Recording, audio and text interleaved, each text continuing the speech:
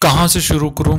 क्या बताऊँ? सच में कुछ समझ नहीं आ रहा। फ़र्स्ट ऑफ़ ऑल तो मैं इस एनिमे सीरीज़ को देखना भी नहीं चाह रहा था, क्योंकि मैंने इसके बारे में सुना था कि बहुत ज़्यादा इमोशनल सीरीज़ है, और मेरा कोई भी इरादा ऐसा नहीं था कि मैं इसे देखूँ, और मेरा कुछ टाइम तक मेरा मूड ख़राब रहे या मैं उदास रहूँ सैड रहूँ, ये देखकर। बट बस गलती से मैंने एक एपिसोड देख लिया और फिर इसके बाद मैं ऐसा एडिक्ट हुआ इस एनिमे सीरीज़ को, इसका फ़र्स्ट एपिसोड देखने के बाद।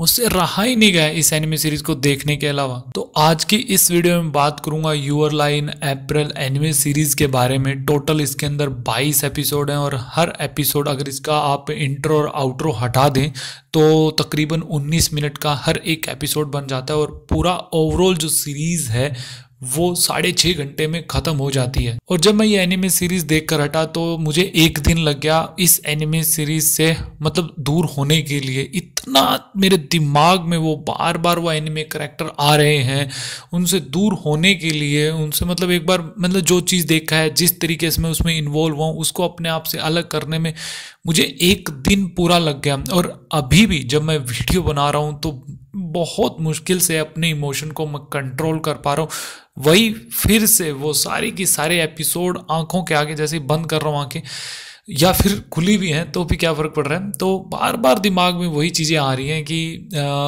आरिमा कोसाई का काउरी का, इन सब का आपस में मिलना और जो बातें हैं, अभी फ़िलहाल इनके बारे में बात करने वाला मतलब ये कह रहा हूँ कि जो सीन थे इस एनिमे सीरीज़ के, वो बार बार मतलब अभी भी दिमाग में आ रहे हैं, उससे हटने के लिए मुझे अभी भी टाइम लग रहा है। तो अब इस एनिमे सीरीज़ की थोड़ी बहुत कहानी के बारे में बता देता हूँ ओवरव्यू बता देता हूँ, ताकि आप इस एनिमे सीरीज़ से अच्छे से कनेक्ट हो पाए और आप इसको अच्छे से समझ पाए। वैसे इस एनिमे सीरीज़ में बहुत सारे करेक्टर हैं तो सारों के बारे में तो मैं इसमें बात नहीं कर सकता। तो जो मेन करेक्टर है, जो चार मेन करेक्टर है, उसके बारे में बात करूँगा। जो फ़र्स्ट जो करेक्टर है एनिमे करेक्टर उसका नाम है आरिमा कोसाई, जो मेन ही यही है। इसी के ऊपर जो स्टोरी लिखी दी गई है ये पूरी एनिमे सीरीज़ की। आप इसे सकते हो समझ सकते हो कि यही मेन है। ये ऐसे समझो कि यार ये बहुत ज़्यादा अव्वल दर्जे का पियानो प्ले करता है, बहुत बढ़िया पियानो प्ले करता है। और जो सेकंड जो एनिमे करेक्टर है, जो आरिमा कोसाई के नेबर में ही रहती है, उसकी पड़ोसन और जो उसके बचपन की इसकी फ्रेंड है सुबाकी ये एक बेसबॉल प्लेयर है, बहुत टफ गर्ल इसमें इसको दिखाया गया है। वैसे इसका सॉफ्ट कॉर्नर भी है और जो इसका थर्ड जो एनिमे करेक्टर है, वो इन दोनों का दोस्त वातारी, जो ये दोनों के साथ स्कूल में पढ़ते हैं। और जो फोर्थ, जो मेरा सबसे फेवरेट करेक्टर है, काओरी। ये जो लड़की है खुद म्यूजिशियन है जो वायलिन प्ले करती है। तो वीडियो में आगे बढ़ने से पहले कुछ चीज़ें मैं क्लियर कर देता हूँ। देखो, ये इस वीडियो में थोड़े बहुत स्पॉइलर हो सकते हैं बट यकीन मानो, वो आपका इंटरेस्ट बिल्कुल भी खराब नहीं करेंगे। ये एनिमे सीरीज़ म्यूज़िक पर बेस्ड है और ज़्यादातर इसके अंदर म्यूज़िक ही दिखाया गया है मतलब सुनाया गया है। और सच कहूँ, मुझे बिल्कुल भी इंटरेस्ट नहीं है म्यूज़िक के बारे में, ना ही मुझे कोई नॉलेज है म्यूज़िक के बारे में। बावजूद इसके भी काबिलियत तारीफ़ है इस एनिमे के मेकर्स की, जिन्होंने, जिस वे से पियानो को प्ले करते हुए इंटरेस्ट क्रिएट किया है, मैं सच में इस चीज़ को स्किप भी नहीं कर पाया। बस ऐसे ही छोटे बच्चे की तरह लैपटॉप के आगे बैठा रहा। एक परसेंट में मैं बोर नहीं हुआ। आरिमा कुसाई के बचपन में कुछ ऐसा इंसिडेंट हुआ जिसके चलते वो पियानो बजाने से डरने लगा। अब इसके पीछे रीज़न क्या था, अभी इसी वीडियो में मैं उस चीज़ को क्लियर करूँगा और इतना इस इंसिडेंट ने इसके ऊपर इतना गहरा प्रभाव डाला कि इसको अपने आप को उस चीज़ से बाहर निकालने में बहुत ज़्यादा टाइम लग गया।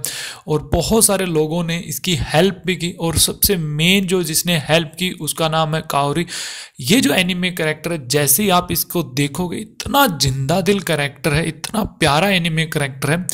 जैसे ही आप इसको देखोगे, आप इससे तुरंत कनेक्ट हो जाओगे, एक तरीके से आप इससे प्यार करने लग जाओगे। और इस एनिमे करेक्टर की बॉन्डिंग आरिमा के साथ कमाल की है, लेकिन औरी और वातारी। जो वातारी है, वो आरिमा का बेस्ट फ्रेंड है। ये दोनों एक साथ एक रिलेशनशिप में है। आरिमा पसंद करता है काउरी को। सोबाकी पसंद करती है आरिमा को। डोंट वरी ये चीज़ आपको बिल्कुल भी पजल नहीं करेगी।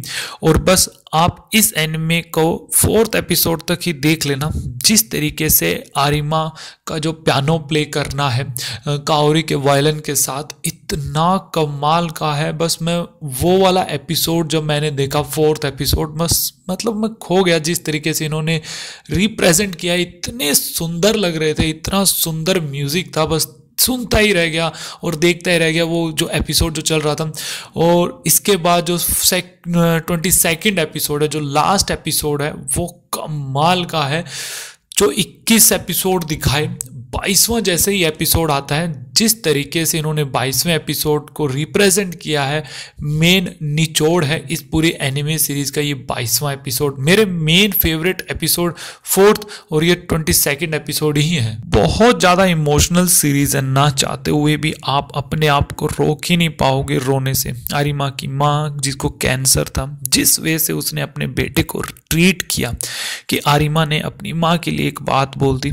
उसने कहा कि मैं तुम्हें मरते हुए देखना चाहता हूँ लेकिन वहीं आप आरिमा की माँ का पॉइंट ऑफ़ व्यू देखोगे तो रो पड़ोगे। वो अपने बेटे को अकेला नहीं छोड़ना चाहती थी। वो चाहती थी कि उसका बेटा सरवाइव कर सके।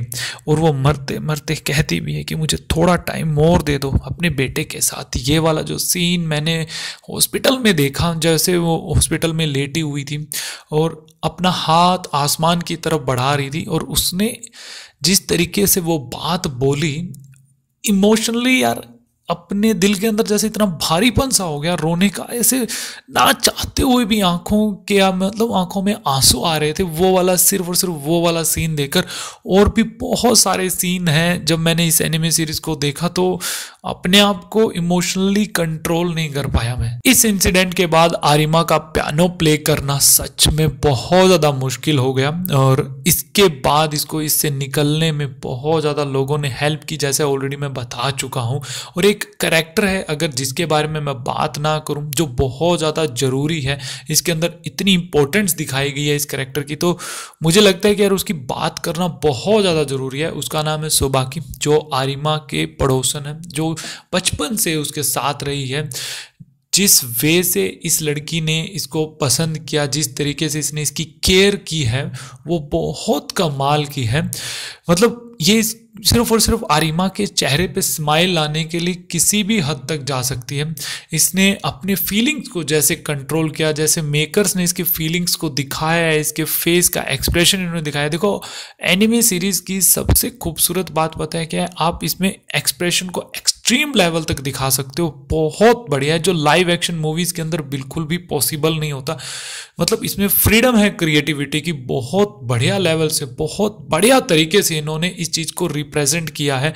उसका दर्द दिखाना सुबाकी के दिल में, वो बार बार जब भी आरिमा और कौरी को एक साथ देखती तो उसके अंदर वो जलन का आना और खुशी एक तरीके से होना कि अब आरिमा जो है वो कावरी से मिलने नहीं जा रहा। ये सब चीज़ें दिखाना यार बहुत कमाल का था। और इसके बाद जो आती है काहोरी यार ये जो करेक्टर है, ये जो एनिमे करेक्टर मेरा सच में बहुत ज़्यादा फेवरेट है। इसके चेहरे की स्माइल जैसे इसका बिहेवियर है, ज़िंदा दिल बिहेवियर हँसते हुए हर किसी के साथ मिलना, हर किसी को मोटिवेट करना। देखो, आप जब इसे देखोगे तो आप बस यही चाहोगे कि ये जब भी स्क्रीन पर आए, इसके चेहरे पे स्माइल होनी चाहिए, ये बिल्कुल भी उदास ना हो। और जैसे ही उदास होगी तो आपका ऐसा मन करेगा, यार कोई इसको हंसा दो। बस एक बार इसके चेहरे चेहरे पे स्माइल आ जाए और सच में ये वाला करेक्टर आपको बहुत ज़्यादा रोने पर मजबूर कर देगा। अब इसके बाद देखो यार, मैं कुछ ज़्यादा तो मैं बता नहीं सकता, क्योंकि अगर मैंने कुछ भी इसके बाद बताने की कोशिश की तो बहुत ज़्यादा स्पॉइलर वाली बात आ जाएगी और मैं नहीं चाहता कि आप लोगों का एक परसेंट भी स्पॉइलर मिले और आपका एक परसेंट भी इसमें इंटरेस्ट खराब हो। मैं चाहता हूँ कि आप लोग इस चीज़ को फील करें। देखो, ऐसा कुछ नहीं है कि लास्ट में जाके आपको एकदम सस्पेंस सा लगेगा, लेकिन ट्वेंटी एपिसोड में थोड़ा बहुत सस्पेंस मिल सकता है, लेकिन इतना हाई सस्पेंस नहीं है। आप इसको प्रिडिक्ट कर पाएँगे फोर्थ एपिसोड में फिफ्थ एपिसोड में जाने के बाद आसानी से पता कर लेंगे कि इसके लास्ट में क्या होने वाला है। बावजूद इसके प्रिडिक्शन होने के बावजूद आपको पता है कि लास्ट में क्या होगा। फिर भी ये सीरीज़ आपको मतलब आप कितने भी पत्थर दिलो, आपको रोने पर मजबूर करेगी। आप जो लास्ट में जो एपिसोड देख रहे होगे, जिस तरीके का जो वो प्ले किया गया है, आप बस हाथ जोड़ रहे होगे कि प्लीज़ यार, ऐसा मत करो। ये चीज़ मत करो यार, ये बहुत ज़्यादा एक्सट्रीम हो जाएगी। आपके दिल में लिटरली ये बात आ रही होगी जब आप ये एनिमे सीरीज़ देख रहे होगे। और इसके बाद अब बात करूँ ट्वेंटी सेकेंड यानी लास्ट एपिसोड की, जहाँ पर आरिमा जो है वो पियानो प्ले करना शुरू करता है और हाफ़ एपिसोड तक वो पियानो और वॉयलन की, इनके, उनका म्यूज़िक ही आप लोगों को सुनाई देते है। और जिस तरीके से आरिमा ने जो वो पियानो प्ले किया है बहुत खूबसूरत जो वो दर्द बताना चाह रहा था वो आप तक पहुँचाने की वो बहुत कोशिश करता और वो पहुँच भी जाता है। आप महसूस कर पाते हो जो वो बातें वो बोलता है बीच में काहौरी के लिए जो बातें वो कहता है उस म्यूज़िक में वो बहुत ज़बरदस्त थी। आ, सच में वो वाला एपिसोड मैंने हाफ़ यकीन मानो 19 मिनट का एपिसोड या 20 मिनट का एपिसोड जिसमें 10 मिनट तक पियानो प्ले किया जा रहा है वॉयलन प्ले किया जा रहा है म्यूज़िक का बिल्कुल इंटरेस्ट नहीं है बिल्कुल भी नॉलेज नहीं है। बावजूद इसके कि उसको मैं ऐसे आँखें खोल कर सिर्फ़ और सिर्फ़ अपने दिल को थाम कर बैठा हुआ हूँ कि यार अब क्या होगा? ये किस वे पे जा रहा है? अब क्या होने वाला है? और जब सेक ट्वेंटी सेकेंड एपिसोड में जब ये प्या, पियानो और वॉयलन जो प्ले करके जब चीज़ें हटती हैं फिर जब आरिमा जो लेटर पड़ता है जो उसके हाथ में जो लेटर आता है कभी नहीं सोचा था कि इस लेवल तक वो चीज़ें होने वाली थी या स्टार्टिंग से ऐसी चीज़ चल रही थी। सच में, वो मैं चीज़ बताना नहीं चाहता। मेन चीज़ है मेन निचोड़ है। और सच, मैं कहने क्या कहा? जो ट्वेंटी सेकेंड एपिसोड है ट्वेंटी वन के जो एपिसोड दिखाए गए हैं, इक्कीस जो एपिसोड दिखाए गए हैं, उनका निचोड़ है। ये बाईसवां एपिसोड कहानी को बहुत खूबसूरत तरीके से हमारे सामने रखा गया है। इतनी सुंदर स्टोरी लिखी है ना, और उसके ऊपर सोने पर सुहागे वाली बात जिसको और ज़्यादा परफेक्ट बनाता है, इसकी एनिमेशन बहुत प्यारी एनिमेशन है। मेरी तरफ़ से इस एनिमे सीरीज़ को मैं देना चाहूँगा ten out of ten star देखो, मैंने बहुत सारी चीज़ें आप लोगों को नहीं बताई हैं, क्योंकि मैं नहीं चाहता था कि आप लोगों को इसका एक परसेंट भी स्पॉयलर मिले। ये सीरीज़ जब आप देखोगे वर्थ इट है ये देखना। आप इमोशनल सच में बहुत ज़्यादा इमोशनल हो जाओगे। इसीलिए मैंने इसके थंबनेल में लिखा सो बैड क्योंकि मैं नहीं चाहता था कि यार ये ऐसी सीरीज़ देखकर मैं अपने मूड को इतना इमोशनल कर पाऊँ कि मुझे ठीक होने में टाइम लग जाए। और मुझे ये नहीं जानना था, मुझे नहीं रोना था सच में। एनिमे सीरीज़ की सबसे गंदी बात मुझे यही लगती है कि इतना इमोशनली ये कनेक्ट कर देंगे, फिर एकदम से इमोशनली कनेक्ट करने के बाद ऐसे तोड़ देंगे कि आप अपने आप को मतलब रोक नहीं पाओगे रोने से ऑटोमेटिकली आपकी आँखों से आँसू आ रहे होंगे। आप सोच रहे हो कि यार ये सब चीज़ें क्या कर दी। अगर किसी ने ये सीरीज़ देख रखी है तो प्लीज़ कमेंट करना कि आप लोगों को ये सीरीज़ कैसी लगी, अगर नहीं देखी है और आपका दिल मज़बूत है तो जाकर देख लेना। और जिनका दिल कमज़ोर है, कुछ चीज़ें ऐसी मतलब नहीं देख पाओगे इतना इमोशनली कनेक्ट होकर आप अपने आप को रोक नहीं पाओगे तो प्लीज़ मत देखना क्योंकि फिर आपकी आँखों से आँसू नहीं रुकने वाले हैं। तो बस आज के लिए इतना ही रखते हैं इस वीडियो में। Thanks for watching this video मिलते हैं नेक्स्ट वीडियो में। जय हिंद।